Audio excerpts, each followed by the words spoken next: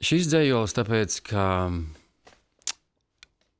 uh, es arī pats esmu no tālas vidzemes, un uh, man pagalmā aug liels, milzīgs bērs, un varbūt tur arī ir tie sapņu strāzdi, un varbūt, ka kaut kad kaut kas būs.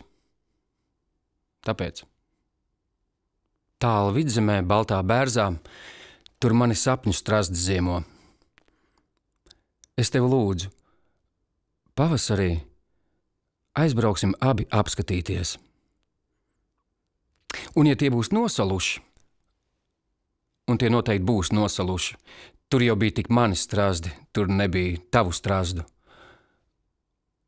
Un, ja tie būs nosaluši, atdod kaķiem. Bet varbūt tomēr pavasarī aizbrauksim abi apskatīties, kas ir tajā būrī.